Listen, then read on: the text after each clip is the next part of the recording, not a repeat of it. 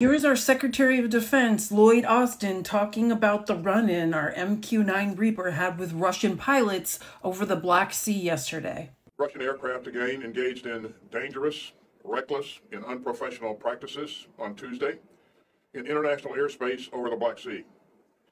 Two Russian jets dumped fuel on an unmanned U.S. MQ 9 aircraft conducting routine operations in international airspace. And one Russian jet intercepted and hit our MQ 9 aircraft, resulting in a crash.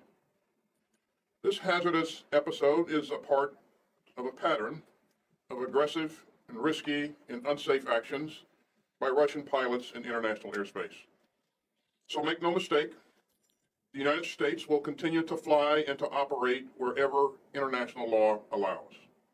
And it is incumbent upon Russia to operate its military aircraft in a safe and professional manner.